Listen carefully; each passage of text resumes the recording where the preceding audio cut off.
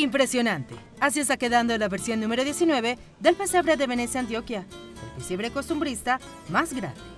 Luis Fernando Betancourt, arquitecto y artista, es su realizador.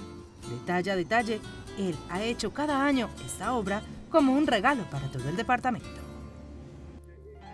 Un trabajo artístico de admirar, ubicado en el hermoso santuario de San José de Venecia.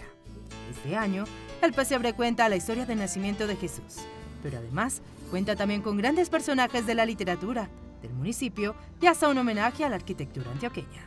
En la arquitectura eh, costumbrista tenemos eh, algo muy bonito que es la casa solariega. Tenemos unas 16 casas solariegas que se pueden contemplar a medida que se va caminando por el pesebre en su espacio interior, recordando ese tipo de arquitectura tan colonial y tan de nuestras poblaciones. El pesebre de Venecia ya se ha consolidado como un atractivo turístico. El año pasado tuvo cerca de 100.000 visitantes, que llegan hasta el suroeste antioqueño, solo para ver esta villa temática. Este año es una versión muy bonita, es el ejemplo de cómo se configura lo artesanal, la conservación de las tradiciones, pero también el folclore y el costumbrismo antioqueño y latinoamericano. El pesebre de Venecia será inaugurado el próximo primero de diciembre, un símbolo de las tradiciones navideñas y cómo éstas se viven con emoción en todos los rincones de Antioquia.